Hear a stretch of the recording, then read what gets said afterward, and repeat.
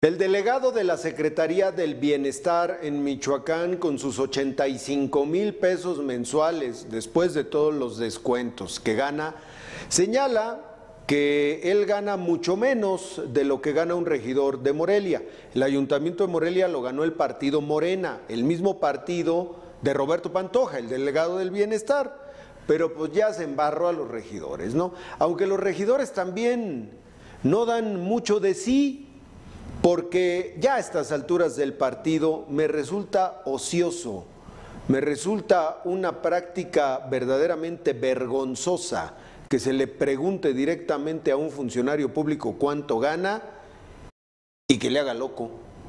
Como ocurrió, nuestra compañera Fátima Miranda platicó, le marcó por teléfono a la regidora de Morena y de PTE, de esos de los que traen la bandera de la transparencia, le marcó y le hizo una pregunta muy sencilla. Regidora, ¿cuánto gana usted? ¿Cuál es su salario? Y mire usted con la embajada que salió esta señora. En una reunión donde estamos tratando esos asuntos. Ajá.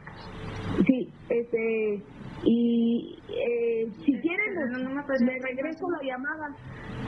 Este, y porque no está en la página de transparencia, entonces nada más que me dijera cuánto ganan más o menos.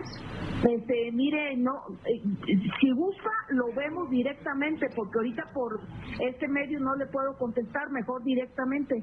Me, eh, se lo pongo por WhatsApp, pero la cosa es nada más saber cuánto gana usted. Mire, ahorita estamos en una reunión, si me permite yo más al rato le contesto.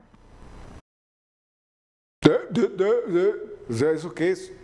Nada más se le estaba preguntando, no, no, no le preguntamos cuál era su patrimonio, regidora. El dinero que usted percibe como regidora en el Cabildo Moreliano es dinero público. ¿Dónde está la transparencia que tanto presume Morena y el Partido del Trabajo? ¿Dónde quedó? Una pregunta simple y comienzan a derrapar. Mire usted.